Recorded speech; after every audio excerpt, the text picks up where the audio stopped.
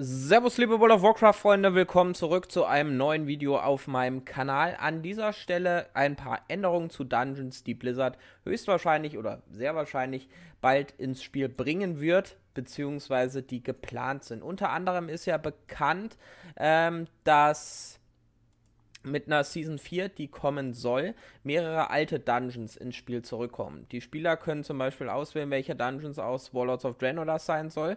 Und da ist aktuell das Grimgleis Depot führend oder mitführend. Wer sich erinnert, der Kampf fand am Ende auf einem Zug statt, der sich durch die Gegend bewegt hat. Und das bedeutet, dass der Zug sich weiter bewegt hat und links, rechts, links, rechts äh, ist die Landschaft an euch vorbeigerast. Selbiges oder ähnliches habt ihr im Legion Dungeon der Seelenschlund. Da seid ihr dann auf einem Schiff, das durch die Gegend propellert und ähm, da habt ihr auch die Tatsache, dass sich links und rechts was bewegt, das Meer und so weiter und so fort. Das sorgt wohl bei manchen Spielern für Probleme und dementsprechend hat Blizzard jetzt tatsächlich reagiert. Blizzard has announced that some accessibility updates are coming to Grimrail Depot and Maw of Souls in Patch 9.2.5, allowing players to turn off the moving en environment. Also das bedeutet, äh, da hat Blizzard bzw. Warcraft auch ein Video zu gemacht, ähm, mit Patch 9.2.5 wird ein äh, Update eingeführt, wodurch ihr auf Wunsch diese sich bewegende Umgebung abstellen könnt. Ähm, es gibt wohl Spieler, die haben da mit der Motion Sickness Probleme.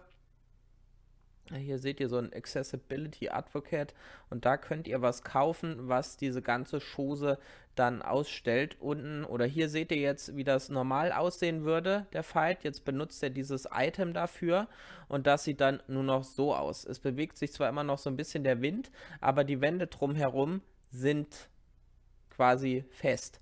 Und dasselbe habt ihr im More of Souls, da könnt ihr auch ein Item kaufen äh, da sind wir jetzt auf dem Schiff, so ist es normalerweise, da bewegt sich alles drumherum und wenn ihr das Item benutzt, steht die See still.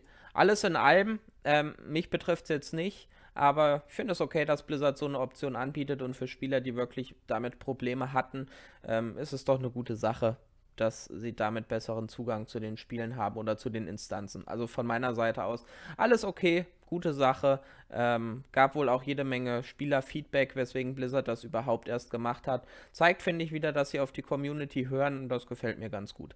Schreibt mir eure Meinung dazu gerne in die Kommentare. Damit sind wir schon durch. Danke fürs Zusehen. Lasst gerne ein Abo da, wenn euch meine Videos gefallen. Bis dahin, lasst euch gut gehen. Reingehauen.